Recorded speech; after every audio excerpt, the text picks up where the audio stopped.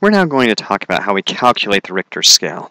Remember, the Richter scale is a way of keeping track of how intense an earthquake is. How much energy does it have? How much damage can it do? And so what we want is the following formula.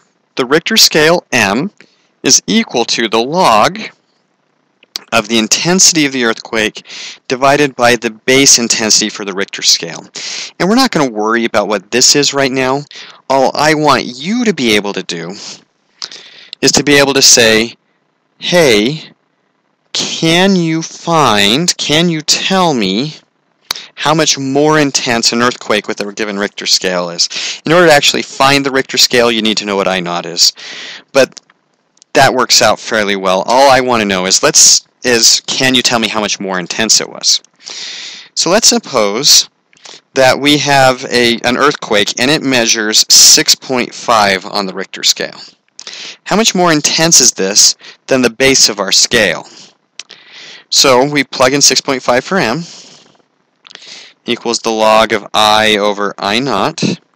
We want to get rid of the log, so we convert this. So it becomes 10 raised to the 6.5 equals i over i naught. So i, when we multiply both sides now by i naught, i is equal to 10 to the 6.5 times that i naught, or using a calculator, 6.5, 10 to the, is 3,162,277 times more. 3,162,277.66 I naught. That's how much more intense an earthquake uh, with a Richter scale of 6.5 is than the base Richter scale of 0.